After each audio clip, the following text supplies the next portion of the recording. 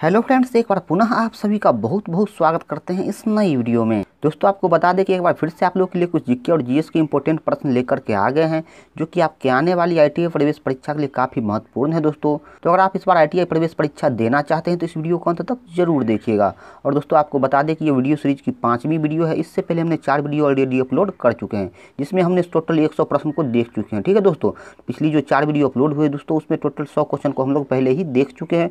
तो अगर अभी तक आपने उस को नहीं देखें तो उसका जो लिंक है आपको नीचे डिस्क्रिप्शन में मिल जाएगा। वहाँ से जाकर आप पिछली वीडियो को देख सकते हैं। और दोस्तों, आपको बता दें कि आई प्रवेश परीक्षा के लिए ऑनलाइन आवेदन जारी हो चुका है, यानी कि ऑनलाइन आवेदन जो है वो शुरू हो चुका है। आप लोग इसके लिए ऑनलाइन आवेदन कर सकते हैं। और इसकी जो अंतिम तिथि है दोस्तों, वो चार अप्रैल निर्धारित की गई है। चार अप्रैल से पहले जो है आप लोग अपना ऑनलाइन आवेदन कर ले। और साथ ही आपको बताया दोस्तों कि इसका जो एग्ज़ाम है वो अट्ठाईस अप्रैल को होने वाला है, ठीक है? कब होगा दोस्तों इसका एग्ज़ाम? इसका जो एग्ज़ाम है दोस्तों, प्रवेश परीक्षा, वो अट्ठाईस अप्रैल को होने वाला है। तो देख सकते हैं दोस्तों कि आपके एग्ज़ाम में भी यहाँ पे ज़्यादा टाइम नहीं बचा हुआ है, सिर्फ़ एक महीने का टाइम जो है आपके एग्ज़ाम में बचा हुआ है। तो इसलिए आप लोग अच्छे से तैयारी कीजिए दोस्तों और एक भी वीडियो को मिस नहीं कीजिए। तो चलिए दोस्तों आज का वीडियो शुरू करते हैं। तो आज का जो हमारा यहाँ पे पहला प्रश्न है 101 नंबर, इसमें पूछा जा रहा है कि हमारे वायुमंडल में ऑक्सीजन की मात्रा है, यानी कि हमारे वायुमंडल में ऑक्सीजन की कितनी मात्रा है। तो ये सभी को पता होगा दोस्तों कि हमारी जो वायुमंडल है, उसमें ऑक्सीजन की मात्रा कितनी है। तो जल्द से जल्द कमेंट करके बताइए दोस्तों कि हमारे वायुमंडल में ऑक्सीजन की कितनी मात्रा है। तो यहाँ जो इसका करेक्ट आंसर होगा दोस्तों, वो हो जाएगा यहाँ पे डी इक्कीस परसेंट, ठीक है? कितना परसेंट वायुमंडल में ऑक्सीजन है दोस्तों? तो टोटल इक्कीस परसेंट जो है यहाँ पे ऑक्सीजन है वायुमंडल में। अगला प्रश्न देखिए 102 नंबर, इसमें पूछा जा रहा है परमाणु क्रमांक 20 वाला तत्व तो आवर्त सारणी के किस आवर्त में रखा जाएगा? ए द्वितीय, बी तृतीय, सी चतुर्थ या फिर डी प्रथम। तो आपको बता दें दोस्तों कि इसका जो यहाँ पे करेक्ट आंसर होगा, वो हो जाएगा यहाँ पे सी चतुर्थ, ठीक है? वही दोस्तों, अगर हम 103 नंबर प्रश्न की बात करें तो यहाँ पे पूछा जा रहा है कि जब जल को ज़ीरो डिग्री सेल्सियस से गर्म किया जाता है, तब इसका आयतन बढ़ता है। चार डिग्री सेल्सियस तक घटता है सी अपरिवर्तित रहता है या फिर डी पहले बढ़ता है और फिर बाद में घटता है। तो यहाँ जो इसमें दोस्तों परिवर्तन होगा, वो चार डिग्री सेल्सियस तक घटेगा, इसलिए इसका करेक्ट आंसर यहाँ पे बी हो जाएगा, ठीक है? दोस्तों, इस वीडियो में हम जीके और जीएस दोनों के प्रश्न को कवर कर रहे हैं, इसलिए आप लोग को टेंशन लेने की कोई ज़रूरत नहीं है, क्योंकि आपको पता होगा दोस्तों की आई का जो प्रवेश परीक्षा होता है, उसमें जीके और जीएस दोनों से प्रश्न पूछे जाते हैं। तो यहाँ पे अगला प्रश्न देखिए दोस्तों, इसमें पूछा जा रहा है कि निम्न पदार्थ में से किसकी अधिकतम विशिष्ट उष्मा है? ये चार पदार्थ यहाँ पे दिया हुआ है, इसमें से पूछा जा रहा है कि सबसे अधिकतम विशिष्ट उष्मा किसकी है? तो यहाँ जो इसका करेक्ट आंसर होगा दोस्तों, वो हो जाएगा यहाँ पे बी जल, ठीक है? किसका विशिष्ट उष्मा सबसे अधिक है दोस्तों? तो वो जल का है। अगला प्रश्न देखिए 105 नंबर, इसमें पूछा जा रहा है कि जब एक वस्तु उत्तर लेंस की ओर गति करती है, तब प्रतिबिंब का आकार कैसा होगा? यानी कि घटता है बी बढ़ता है, सी पहले घटता है या फिर बाद में बढ़ता है या फिर अपरिवर्तित रहता है। तो यहाँ जो इसका करेक्ट आंसर होगा दोस्तों 105 का, वो हो जाएगा ये, यहाँ पे घटता है, ठीक है? जब एक वस्तु उत्तर लेंस की ओर गति करता है तो उसकी जो प्रतिबिंब का आकार है दोस्तों, वो घटता है, इसलिए इसका करेक्ट आंसर यहाँ पे ए हो जाएगा। वही दोस्तों, यहाँ पे अगला प्रश्न देखिए, इसमें पूछा जा रहा है, धारा प्रवाहित दो समांतर तारों के बीच बल द्वारा किसे प्रभाषित किया जाता है? A ampere B coulomb C volt या फिर डी बाट तो यहाँ जो इसका करेक्ट आंसर होगा दोस्तों, वो हो जाएगा यहाँ पे ए एम्पियर ठीक है? अगला प्रश्न देखिए, इसमें पूछा जा रहा है कि निम्नलिखित उपग्रह में से सबसे छोटा कौन सा है? यहाँ पे चार उपग्रह दिए हुए दोस्तों, और आपसे पूछा जा रहा है कि सबसे छोटा उपग्रह कौन सा है? ए बृहस्पति, बी शुक्र, सी बुध या फिर डी प्लूटो।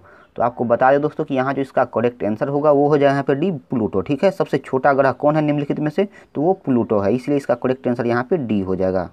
अगला प्रश्न देखिए दोस्तों, इसमें पूछा जा रहा है कि यदि एक दोलक का द्रव्यमान दुगुना कर दिया जाता है तो उसका दोलन काल दुगुना हो जाएगा, बी आधा हो जाएगा, सी अपरिवर्तित रहेगा या फिर डी चार गुना हो जाएगा। तो यहाँ जो इसका करेक्ट आंसर होगा दोस्तों, वो हो जाएगा यहाँ पे सी अपरिवर्तित रहेगा, ठीक है? यदि एक दोलक का द्रव्यमान दोगुना कर दिया जाए तो उसका दोलन काल जो है दोस्तों, वो अपरिवर्तित रहेगा, इसलिए इसका करेक्ट आंसर यहाँ पे क्या होगा दोस्तों? सी हो जाएगा। अगला प्रश्न देखिए, इसमें पूछा जा रहा है कि एक नक्षत्र का रंग किस पर निर्भर करता है? दोस्तों, एक नक्षत्र का जो रंग है, वो किस पे निर्भर करता है, ये आपको बताना है। ए घनत्व पे, बी सूर्य से दूरी पर, सी पृष्ठ ताप पर या फिर डी त्रिजा पर। तो यहाँ जो इसका करेक्ट आंसर होगा दोस्तों, वो हो जाएगा यहाँ पे सी पृष्ठ ताप पे। किस पे निर्भर करता है दोस्तों एक नक्षत्र का रंग? तो वो पृष्ठ ताप पे निर्भर करता है। अगला प्रश्न देखिए 110 नंबर। इसमें पूछा जा रहा है, चुंबकीय फ्लक्स की इकाई है, यानी कि चुंबकीय फ्लक्स की इकाई क्या होती है? तो इसका जो दोस्तों करेक्ट आंसर होगा, वो हो जाएगा यहाँ पे ए वेवर ठीक है? चुंबकीय फ्लक्स की इकाई क्या होती है दोस्तों? वेवर होती है। वही हम अगला प्रश्न देखिए, एक सौ ग्यारह नंबर। इसमें पूछा जा रहा है, एक मोटर विद्युत ऊर्जा को किसमें परिवर्तित करता है, ठीक है? मोटर जो है दोस्तों, वो विद्युत ऊर्जा को किसमें परिवर्तित करता है, ये आपको बताना है। ये यांत्रिक ऊर्जा में, बी, रासायनिक ऊर्जा में सी नाभिकीय ऊर्जा या फिर डी उष्मीय ऊर्जा तो यहाँ जो इसका करेक्ट आंसर होगा दोस्तों वो हो जाएगा यहाँ पे ए यांत्रिक ऊर्जा, ठीक है? विद्युत मोटर जो है ऊर्जा को किसमें परिवर्तित करता है? तो वो यांत्रिक ऊर्जा में परिवर्तित करता है। अगला प्रश्न देखिए, इसमें पूछा जा रहा है दो वस्तुओं के बीच गुरुत्वाकर्षण बल किस पर निर्भर करता है? तो यहाँ जो इसका करेक्ट आंसर होगा दोस्तों, वो हो जाएगा यहाँ पे बी, उनके द्रव्यमानों का योग पे, ठीक है? किस पे निर्भर करता है दोस्तों? उनके द्रव्यमानों के योग पे निर्भर करता है। वही अगला प्रश्न देखिए, निम्न में से पी सी एल टू अणु की आवृत्ति कौन सी है? तो इसका जो यहाँ पे करेक्ट आंसर हो जाएगा, वो जाएगा यहाँ पे डी त्रिकोणीय द्विप्रिमेडी, ठीक है? वही दोस्तों, यहाँ पे अगला प्रश्न देखिए 114 नंबर, इसमें पूछा जा रहा है, रियाल किसकी मुद्रा है? तो दोस्तों, आपको बता दें कि रियाल जो है वो अल्जीरिया की मुद्रा है, इसलिए इसका करेक्ट आंसर यहाँ पे ए हो जाएगा। वही 115 नंबर प्रश्न देखिए, इसमें पूछा जा रहा है, कांग्रेस दल के अंतिम अध्यक्ष जिनका उपनाम गांधी नहीं था, वो कौन था? तो इसका जो यहाँ पे करेक्ट आंसर हो जाएगा दोस्तों 115 का, वो हो जाएगा यहाँ पे एक केसरी, ठीक है? अगला प्रश्न देखिए, इसमें पूछा जा रहा है, पोलोथीन में एकलकों को जोड़ने वाला बंद है। तो इसमें जो एकलकों को जोड़ने वाला बंद है दोस्तों, वो आपको बता दें कि वो सहसंयोजी बंद होता है, इसलिए इसका करेक्ट आंसर यहाँ पे ए हो जाएगा। यहाँ पे अगला प्रश्न देखिए, इसमें पूछा जा रहा है, गैलेना इसका अयस्क है, यानी गैलेना इनमें से किनका अयस्क है? तो आपको बता दें कि यहाँ जो इसका करेक्ट आंसर हो जाएगा, वो हो जाएगा यहाँ पे डी पी बी ठीक है? किसका है दोस्तों? वो सीसा का अयस्क है। वही दोस्तों, यहाँ पे अगला प्रश्न देखिए, इसमें पूछा जा रहा है, यह तत्व अपरूपता नहीं दर्शाता है। ऐसा कौन सा तत्व है दोस्तों निम्नलिखित में से, जो अपरूपता नहीं दर्शाता है? तो यहाँ जो इसका करेक्ट आंसर होगा दोस्तों, वो हो जाएगा यहाँ पे डी ओ ऑक्सीजन ठीक है? अगला प्रश्न देखिए, अफ़गानिस्तान की राजधानी कहाँ है? ये आपसे पूछा जा रहा है। तो दोस्तों, आपको बता दें कि अफ़गानिस्तान की जो राजधानी है, वो काबुल है, इसीलिए इसका करेक्ट आंसर यहाँ पे सी हो जाएगा, ठीक है?